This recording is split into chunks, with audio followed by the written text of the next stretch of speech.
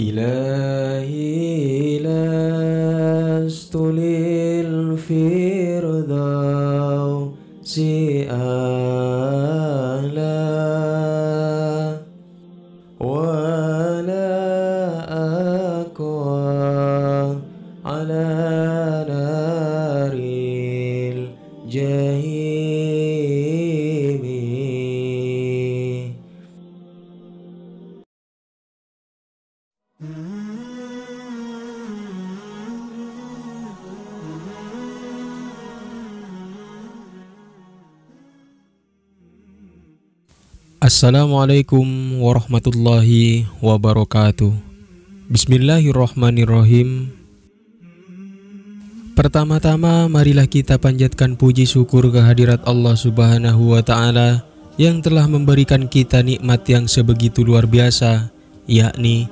nikmat iman dan Islam dan tidak lupa solawat beserta salam semoga terlimpah curahkan kepada Nabi besar kita Nabi Muhammad Sallallahu Alaihi Wasallam kepada keluarganya, para sahabatnya, pengikutnya, dan kepada kita sekalian. Dua bait syair yang tadi sudah hangat dan akrab di telinga kita, terutama kaum tradisionalis Islam beberapa saat menjelang saat maghrib atau subuh. Jemaah di masjid-masjid atau musola di pedesaan biasanya mendengarkan syair tersebut dengan syahdu sebagai puji-pujian. Konon kedua bait tersebut adalah hasil karya tokoh Abu Nawas. Ia adalah salah satu penyair terbesar sastra Arab klasik. Abu Nawas juga muncul beberapa kali dalam kisah Seribu Satu Malam. Nama Abu Nawas atau Abu Nuwas juga bukan lagi sesuatu yang asing. Abu Nawas dikenal terutama karena kelihayan dan kecerdikannya melontarkan kritik-kritik tetapi dibungkus humor. Sesungguhnya ia adalah tokoh sufi, filsuf, sekaligus penyair. Ia hidup di zaman Khalifah Harun al-Rashid di Baghdad pada tahun 806 sampai 814 Masehi.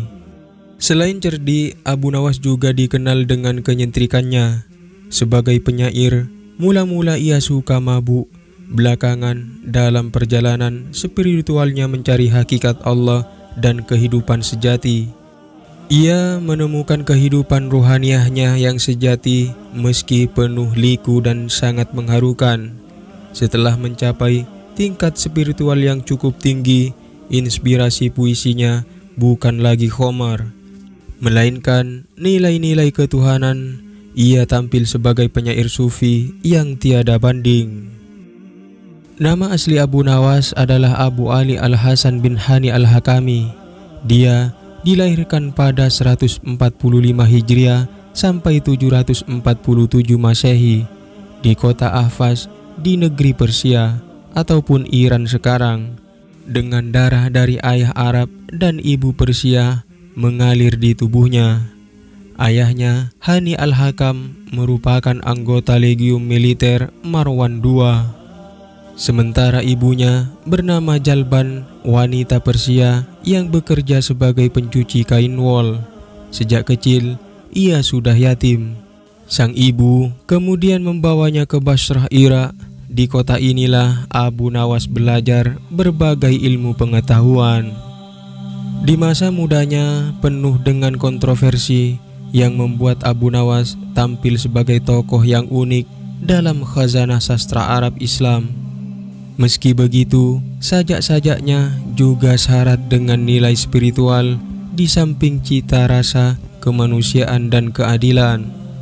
Abu Nawas belajar sastra Arab kepada Abu Zaid Al-Ansori dan Abu Ubaidah. Ia juga belajar Al-Quran kepada Yakub Al-Hadrami, sementara dalam ilmu hadis, ia belajar kepada Abu Walid bin Ziyad. Muhtamir bin Sulaiman, Yahya bin Said Al-Qattan, dan Azhar bin Sa'ad As-Saman. Pertemuannya dengan penyair dari Kufa, Walibah bin Ahbab Al-Hasadi, telah memperluas gaya bahasanya dan membawanya ke puncak kesusastraan Arab. Walibah sangat tertarik pada bakat Abu Nawas yang kemudian membawanya kembali ke Ahwas lalu ke Kufah. Di Kufah, bakat Abu Nawas digembleng, Ahmar menyuruh Abu Nawas berdiam di pedalaman. Hidup bersama orang-orang Arab Badui untuk memperdalam dan memperhalus bahasa Arabnya. Syahdan Abu Nawas dikenal sebagai orang yang gemar berbuat maksiat. Dia gemar minum khomer hingga dia mendapat julukan penyair khomer. Abu Nawas pernah membuat syair seperti ini. Biarkan masjid diramaikan oleh orang-orang yang rajin ibadah, kita di sini saja bersama para peminum khomer dan saling menuangkan.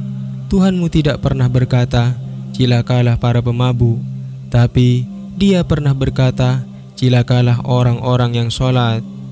Gara-gara syair ini, Khalifah Harun al-Rashid marah dan ingin memenggal leher Abu Nawas. Akan tetapi, ada seseorang yang mengatakan kepada Raja Harun al-Rashid, Wahai Amirul Mukminin, para penyair mengatakan apa-apa yang tidak mereka lakukan. Maafkanlah dia ataupun Abu Nawas. Menurut satu riwayat, ketika Abu Nawas meninggal dunia, Imam Syafi'i tidak mau mensolati jenazahnya. Namun, ketika jasad Abu Nawas hendak dimandikan, di kantong Abu Nawas ditemukan secari kertas bertuliskan syair ini.